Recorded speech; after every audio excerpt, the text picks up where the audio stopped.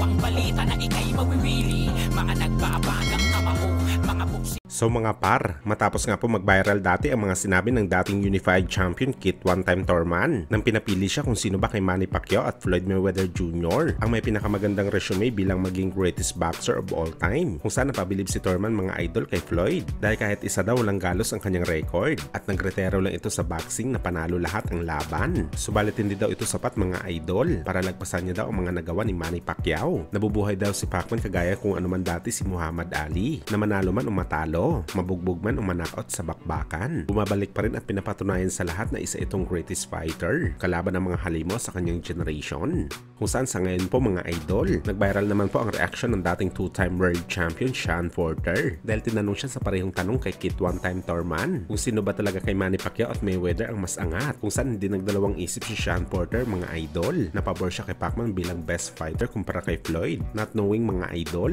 na natalo ang Pinoy legend kay Mayweather sa bakbakan nila noong 2015. At isa lang ang naging rason ni Porter mga idol kung bakit mas pinipili niya si Pacman dahil lumaban daw si Boss Manny sa mga fighter na tunay na mga halimo sa bakbakan at sa kasagsagan pa ng kanilang prime sa boxing sports. Isa nga sa mga in-example ni Porter mga idol nang nilabanan ni Pacman si Margarito na sa mga time na yun nakakatakot ang bagsik ng Meksikano. Marami daw siya pinabagsak ng mga tunay na bugiman sa laban. Subalit pagdating daw kay Pacman, demolish daw ang inabot ni Margarito. Subalit sa resume naman daw ni Mayweather mga idol, hindi naman gaano katibay. Lalo na nang pinalaga ni Floyd si Mosley na alam naman natin na lipas na ang prime nito sa boxing. Pero nagawa pa rin si Floyd saktan Sugar Shane sa bakbakan.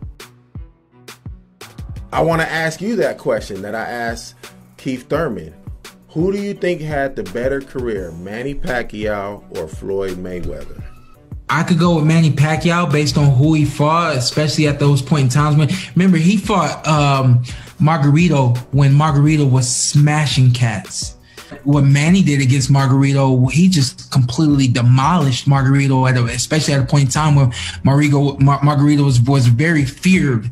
Uh, obviously, Floyd Mayweather being undefeated, he fought Shane Mosley, but he fought Shane at a time when Shane wasn't at his best. Uh, I'm gonna go ahead and pick and, and pick Manny based on who he fought, when he fought him, taking over eight divisions. You can't deny that.